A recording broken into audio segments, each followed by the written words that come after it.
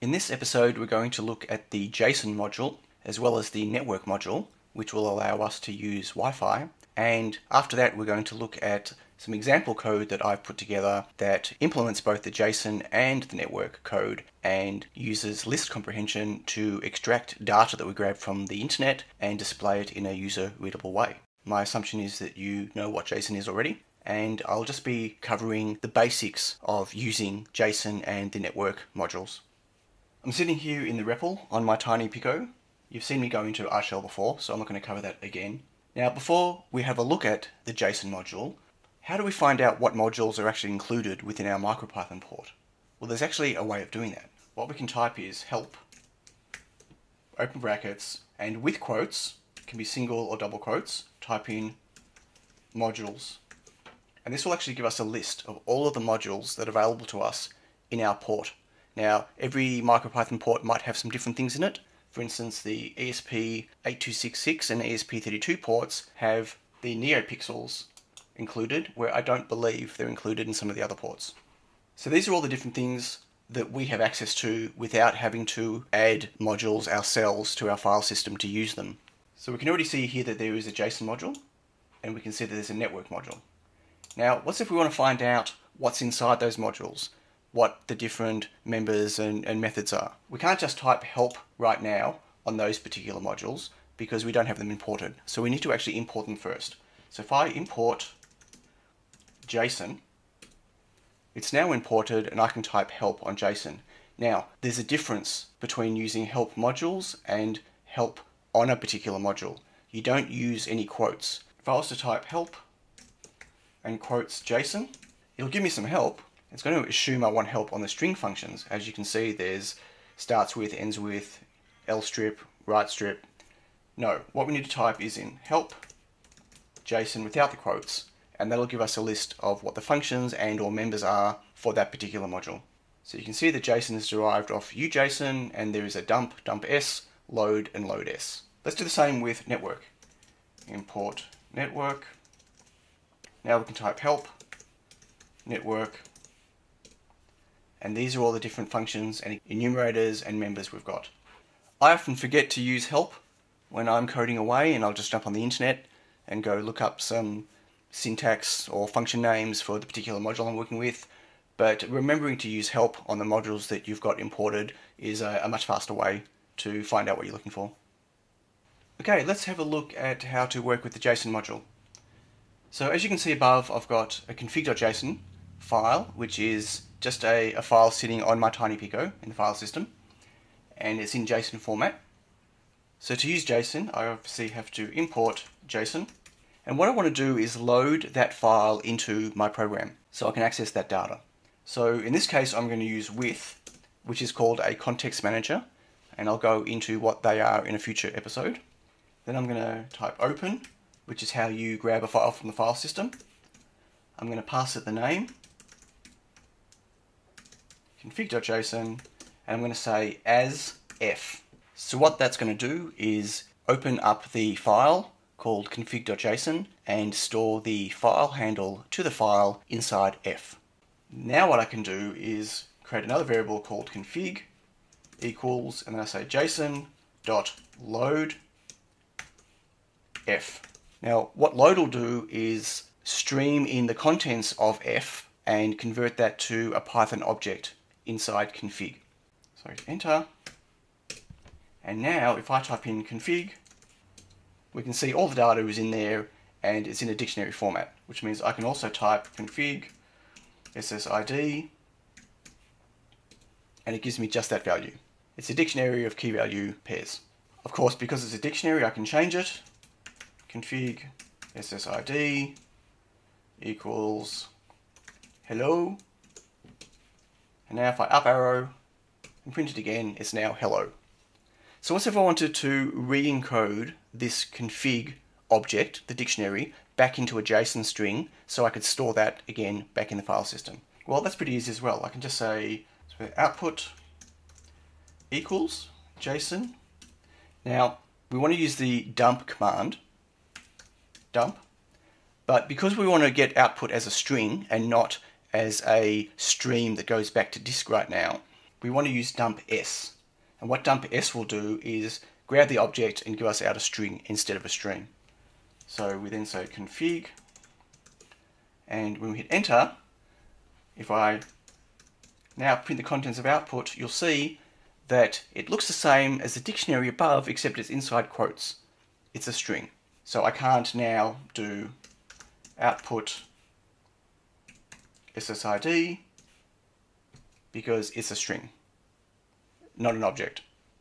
And then we could just write that back to disk if we wanted to, or we could just use json.dump, which will let us stream it back to disk. Okay, working with Wi-Fi is pretty straightforward in MicroPython. Obviously we need to import network. And now we have the option of creating either an access point interface or a station interface, whether we want to create an AP for other people to connect to us, or whether we wanted to connect to an existing router to get out onto the internet to grab data or send data. So in this case, we're just going to create a station interface so we can get out onto the internet. So I'm going to say WLAN as a variable name equals network dot WLAN. And then we need to pass it what we want to do. So in this case, it's going to be dot st underscore if. This is just going to give us a station interface. And then what we need to do is make that active. So WLAN dot active true. Now we're not actually connected to the router. We haven't passed it any form of SSID or password, but we have an open active interface. So now we can do interesting things like wlan.scan. That's going to scan the network and come back with a list of different Wi-Fi access points with a whole bunch of extra information. As you can see, my 3 sprockets 3GB TC, which is my Wi-Fi network at home, is there. We can also query the LAN connection to see if it's actually connected to an access point. So we can say, is connected, in this case false, because we haven't actually told it to connect to anything. We can also query the connection and ask for the MAC address. Now what you're seeing it in actually is what's called a byte array. We can also say wlan.ifconfig, but in this case we're not actually connected yet, so we don't have an IP address, we don't have a subnet mask, there's no DNS available. Okay, so how do we connect? Well, you just say wlan.connect and you pass it the SSID as a string and the password as a string. Now, I'm not going to publicly type my data in here for everyone to see, but what I can do, like we did before, is say import JSON with open config sion.json. I've got a different file sitting on my Tiny TinyPICO that has my credentials in there as f config equals json.load f. Now I'm not going to print the contents of that. That'd be a bit silly at this point. But what I can now do is say wlan.connect. And I can say config ssid, comma config ssid password. and now it's going to connect. Now it doesn't sit there as a blocking call. Now normally what you'd want to do is halt your code until the connection has finished. And you can do that by simply saying while not wlan dot is connected. And you can use pass which is just like a, a skip or a continue.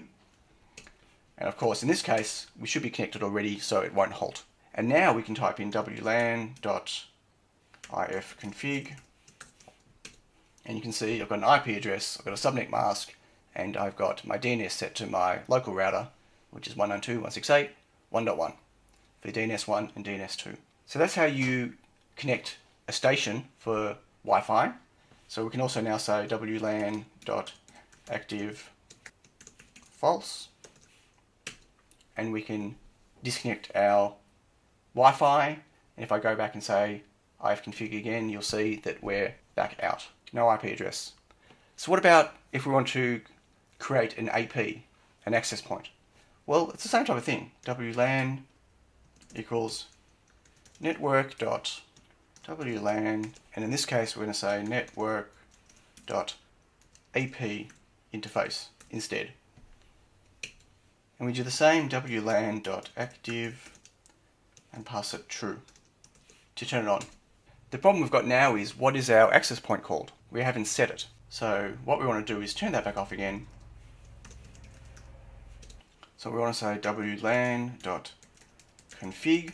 I'm going to set our ESSID equals and give it a name. So we'll call it EP5 test. So that's what our access point is going to be called if we do a Wi-Fi scan. And now we can activate the access point. And if we do a Wi-Fi scan, we can see ESP5.test is on our list of available Wi-Fi points. Awesome, so we know how to load JSON data and we know how to initialize our Wi-Fi and connect to our router. Let's have a look at some code that does something practical and useful. So my TinyPICO campaign on Crowd Supply launched recently and it's still running right now. And though this is not a plug for my campaign, the launch of the campaign actually made something interesting happen. A lot of people in my community have been tracking the number of TinyPICOs I've sold by looking at all the different pledges and multiplying out how many TinyPICOs there are per pledge pack. And people have been sending me running totals of how many TinyPICOs I've sold. And I was chatting with Brian Lough from Brian Lough YouTube channel and he decided to put together a bit of a JavaScript scraper for the crowd supply page and set up a little website to run it to extract the data. And he's returning it in a JSON string. And I thought that would be a really interesting project to build a practical example of for this tutorial. So what I'll do first is run the code and show you what it does, and then we'll have a quick look through the code. Now, it looks like there's a fair bit of code, but most of what's in there are just comments. so it won't take too long to go through the code. Okay, so let's do import. It's called grab stats. So import grab stats, it connects to my Wi-Fi, goes to the server, grabs the data in JSON format and prints it out in a human readable way. So as you can see, it breaks down the quantity of pledges, the number of TinyPICOs per pledge, and a total on the bottom and it updates every 15 seconds and Brian's actual server only scrapes every 30 seconds so it caches the data so we're not constantly slamming the crowd supply website. So while that's running, let's have a look at the code, and maybe while it's running we'll see something interesting happen if someone backs the campaign while it's going. The code's fairly straightforward. We're importing network, we're importing JSON, we're importing time, and we're using a module called uRequests, which is a socket-based library that lets you download data from the internet. We're opening the config file called config.sion.json, and I'm also checking to make sure that we've set the SSID. If it finds enter Wi-Fi SSID inside that file, it throws an error and the application stops. Next thing we do is create a WLAN reference for a station interface. We turn it on and we connect to the Wi-Fi by passing SSID and SSID password. We're then waiting till the WLAN is connected and from here this is where it all happens. So I've got a, uh, an empty dictionary called previous TP totals and I'll show you what that's for shortly. I've got a function that downloads the stats so it creates an empty list request equals urequest get and I'm passing it the URL from the config file.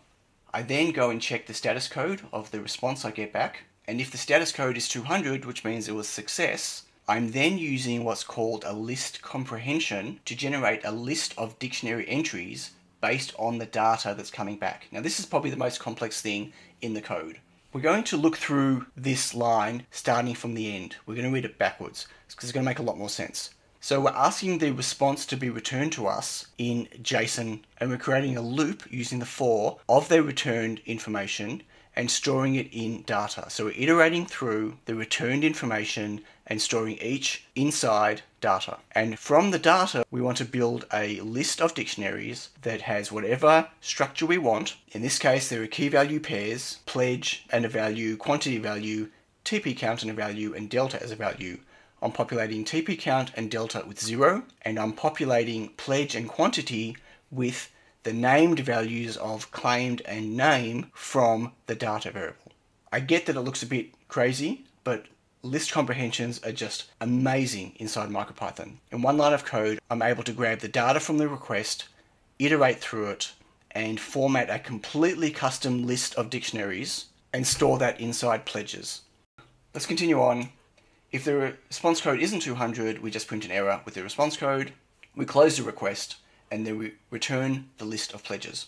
Now I've also got another function here, which is just a helper function that allows me to print a whole bunch of formatted data. As you can see from the data below, everything's nicely tabbed in columns. And so I'm doing that by using a print statement with the format, which we've covered before. And inside the parentheses for each of the data elements that are going to be passed from format, I'm using some alignment and padding control to be able to tell things to be left justified, right justified, and how wide the items are going to be to make all our formatting nice. What I'm also doing is passing a CR, which will be a true or false, and my new line variable equals the results of that. Now this is an interesting line as well. This is something that looks quite different to what you'd normally expect inside C++. So new line equals my new line character if this is true.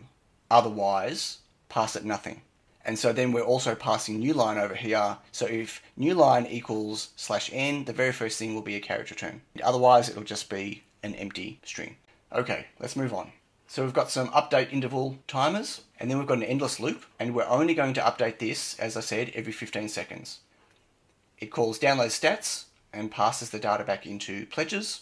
Now, the very first time this runs through, it's going to detect that my previous TP totals was empty. Okay, we're checking the length equals zero. We could also just say if not prev TP totals, that'll do a similar thing because if it's empty, it'll be nothing, it'll be nil. But if it's empty, we're going to go through all the data in pledges and I'm going to populate a key for every one of those based on the pledge name and set it to zero. So that way I have a place to store the previous pledge when it goes through so I can see did the next update come through have more than the previous and if so I can show what the delta is. I'm going to do a print formatted and I do the headings. Let me just scroll this up a bit so you can see the heading. So I'm printing off all the different headings. I'm passing true because I want it to be a carriage return. I'm then printing the underscores with a false because I don't want an extra carriage return. I've got uh, count as zero for how many TinyPICOs I've got per loop. Then I go through the list of pledges and I start calculating the data from that. Now we've covered for something in something before. So I'm grabbing the quantity from the data coming in. So that's this column here storing it in TP count, and then I'm saying if it's a two pack, because there are two TinyPICOs in a pack, I'm multiplying TP count by two. If it's a four pack, I'm multiplying it by four. And then I'm storing the previous value that was inside previous TP totals inside a variable. I'm then saying if the variable is greater than zero, that means we've stored something in there before, so it's not the first run. I want to make the delta be whatever the current count is minus the previous version. So if they're both the same, the delta will be 0. If the new version is too high than the previous, the delta will be 2. Otherwise, I set the delta to 0. I then go and update that value back into previous totals because I've already got my delta. I increase the total TinyPICO count based on the current TinyPICO count for that pledge. And then I create a variable like we did above that's got a plus and the delta if the delta has a value in it, if it's not zero. Else, don't put anything for the delta. And then I print that information down by passing all that information to my print formatted. And at the end, I just print the bottom underscores and the final TP count. That's it. It's not super complicated.